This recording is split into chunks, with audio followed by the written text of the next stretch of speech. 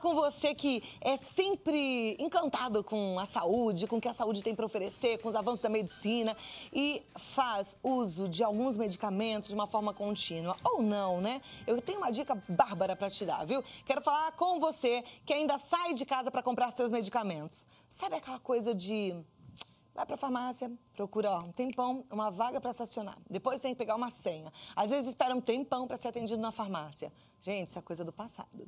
Quero te apresentar um novo conceito em farmácia. Eu quero te apresentar a Farma Delivery. Na Farma Delivery você compra sem sair de casa, pela internet ou pelo telefone. A Farma Delivery já entrega em mais de 5 mil cidades brasileiras. É isso mesmo, são 5 mil cidades. Então não importa a região do Brasil que você esteja, né? Eles vão despachar para você. Se você é hipertenso, diabético ou usa algum medicamento de uso contínuo, você precisa conhecer a Pharma Delivery. A Pharma Delivery é especialista em medicamentos de marca. Lá você encontra condições super especiais para todos esses medicamentos. Tem mais. Quem tem parentes no Japão sabe que lá é muito difícil comprar medicamentos, mas para a Pharma Delivery isso não é um problema. Ela é a única farmácia brasileira que despacha medicamentos legalmente para o Japão.